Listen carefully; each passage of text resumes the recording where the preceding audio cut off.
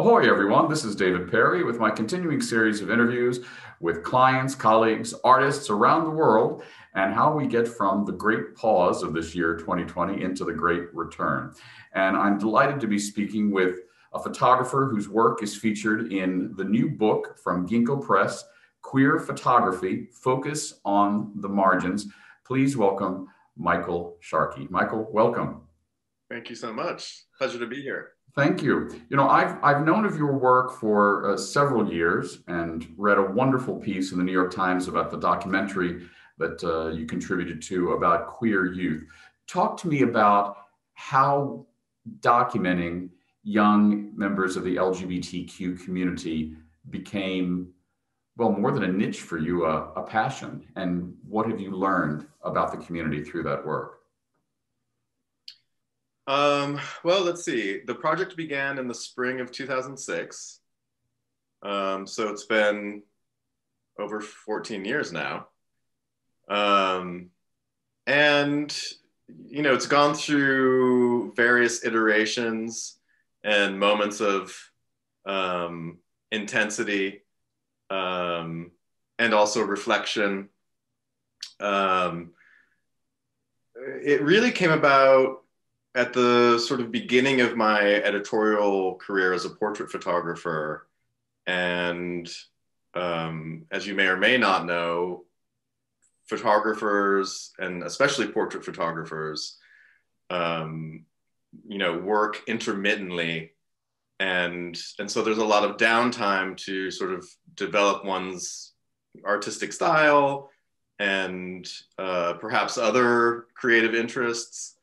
Um, and at that point in my career, I felt a need and a desire to sort of embark upon a long term project that would be a sort of um, vehicle for me to explore different ways of, of photographic uh, portraiture. Um, and also to just give myself an opportunity to be my own boss and really make make all of those creative decisions myself um, instead of with the sort of collaborative help that you would normally experience with an editor or an art director um, and really sort of focus in on on the on the on the style and the type of approach to a subject that was of most interest to me at the time.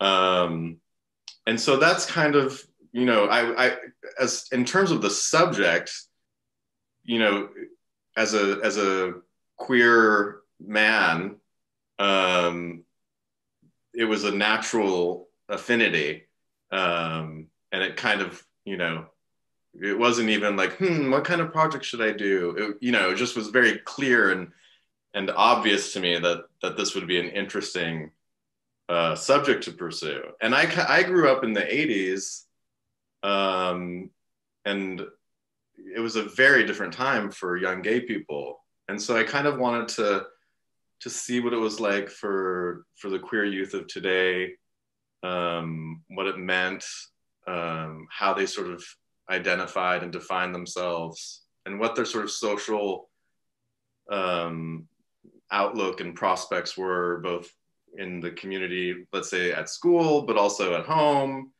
Um, I didn't really come out to my family until I was a, um, you know, around 20 years of age.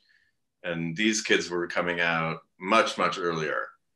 Um, in terms of the, I think the second part of the question was, what have I learned? So, you know, fortuitously, the project began at a moment of just incredible um, transition in terms of social norms, um, institutional policy, um, you know, legal ask legislation, all of this kind of stuff was happening. And within a 10 year period of time, I would say it was, it was something I could not anticipate, but it was a completely different um, demographic and group of people that I was sort of confronting um, in the project. so something that had originally began documenting the sort of the, the budding sexuality of young people and how they sort of identified and, and related to, to people of the same sex eventually became almost exclusively about gender and the way that gender is perceived and um, and also expressed um, and now I would say we're we're sort of nearing another sort of transition or episode in the evolution of LGBTQ um, activism and and culture. Um, and I I don't want to try to define it.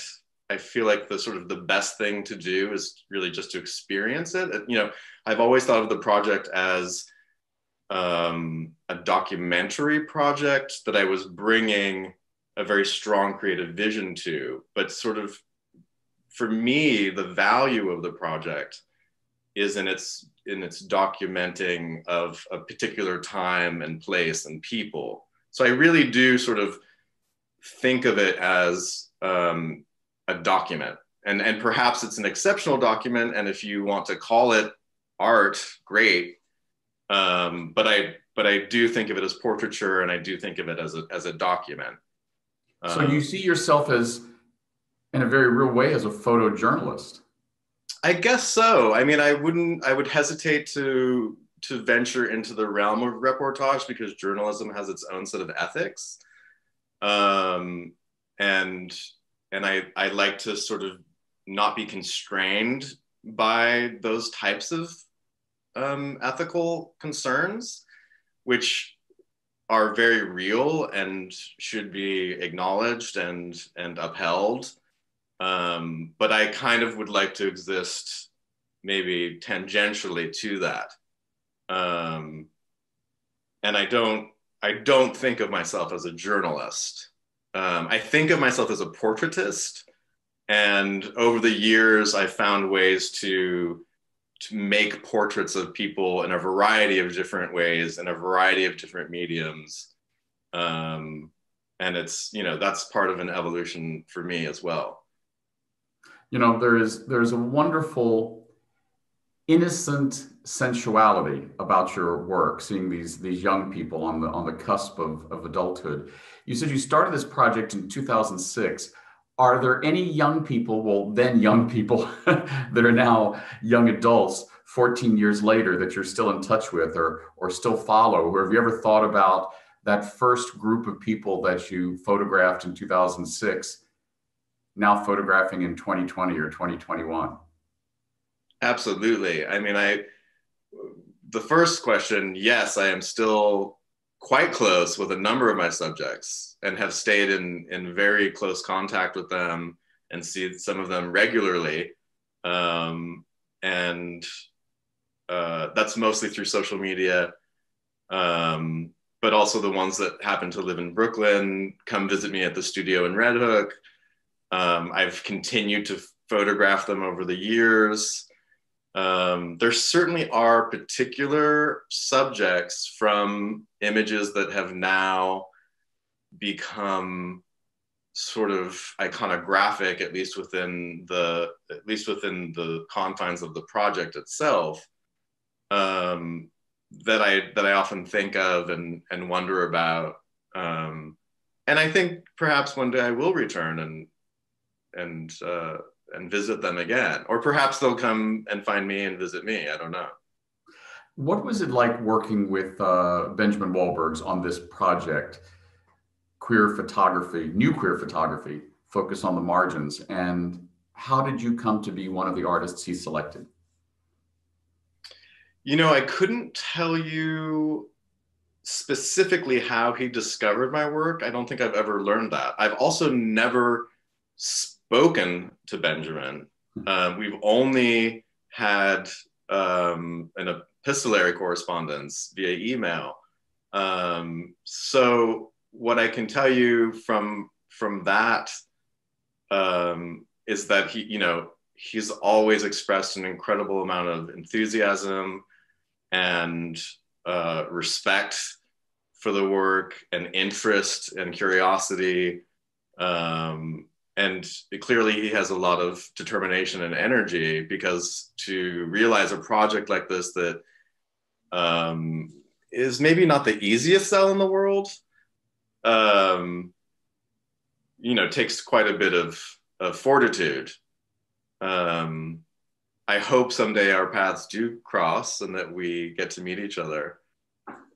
Have, have you seen now the complete book that it's out with the other 50 some artists in there I have only seen a digital PDF of the book um, in its entirety, which I have gone through uh, a few times, and I, I'm, you know, totally blown away by the quality of work in there, and humbled to be in such such great company. Um, the books that I have ordered, the the actual volumes, have not arrived yet, but I I anticipate them coming sometime soon. Yes. Talk to me a little bit about how you would define the secondary title of the book, Focus on the Margins. What, what to you are the margins that your work covers? I mean, I guess, you know, li- literally speaking, you're talking about groups of people that have been uh, pushed to the margin or have um, made a conscious choice to remain in the margins. Um, and, you know, these are minority groups.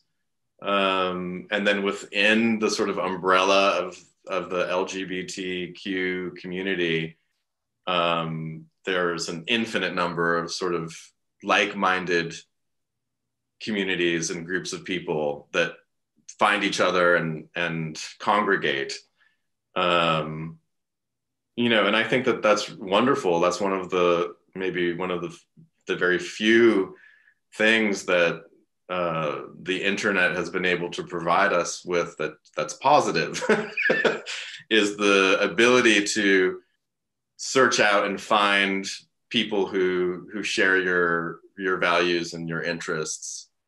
Um,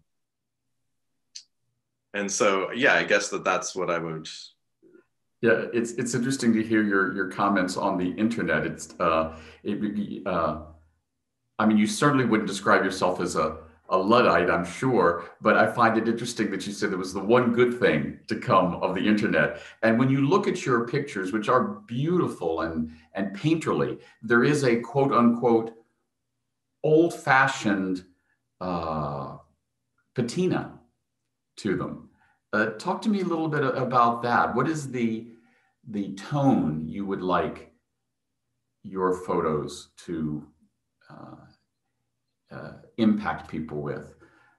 Well, in 2006, I was still shooting analog film.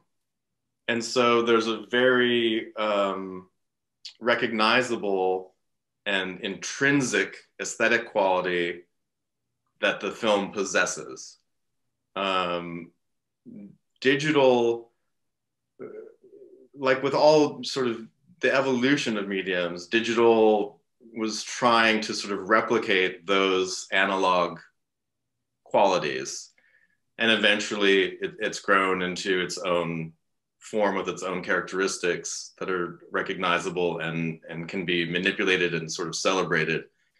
Um, but I think what you're recognizing isn't so much the the sort of aesthetic quality, but but the way that I approach my subject. Yes. Which is a kind of maybe hmm, I don't know if I've ever actually tried to articulate this, but it's I'm not going to say that it's tra- a traditional approach, but it's a kind of formal approach to the subject. Um, so I want to be like fully engaged and I want the resulting portrait to convey that engagement um, so that the viewer can feel a sense of intimacy and a sense of connection to the subject. Um, so I think I think that that's probably what you're what you're talking about. Uh, I don't think that that will really ever go away in the way that I approach subjects. I mean, I I love um, a, a, sort of American vernacular, or maybe not even American, but a sort of contemporary vernacular that you achieve with all of the the sort of iterations of photographic technique. I don't want to transcend that in any way. I want you to look at my image and be like, hmm, that looks like it was made in mm-hmm. the early 2000s. I want you to sort of locate it in a, in a place in history and for to, that to sort of come through. Um, you know, I, I also take a million other different types of photographs, lots of snapshots. I make still lifes. Um, that's a different style of, of photography. But when it comes to portraiture, I, I, I do think I have a, a, a, more, for lack of a better word, formal approach. Last question for you. When you were the age of some of your subjects, and the, of course, the, the subject of this interview, would you have been one of those gay kids that would have been photographed or allowed himself to be photographed? in the mid 80s, no. Um, but if I had been a teenager in the you know early 2000s, I think yes, I think I would. Um, and I think this is true of most young people that they they come to a place in their self-awareness and their understanding of themselves that they want to present something to the world and they want to be seen and they want to be understood. Um, so I think that that's a kind of almost universal desire that that young people have. Um, and you know, queer kids really at its heart is is a project that that just allows these kids to express who they are um, and I try to to bring a little bit of, um, you know, what is the word, um, magic to the way that they present themselves. Um, We've been speaking with Michael Sharkey, known for his photographic work documenting queer youth and one of the more than 50 photographers featured in the new book from Gingko Press, New Queer Photography, Focus on the Margins. Michael, it's been a great pleasure. Thank you for your beautiful work. The pleasure is Oh, all mine. Thank you so much, David. Oh, Ahoy. See you later.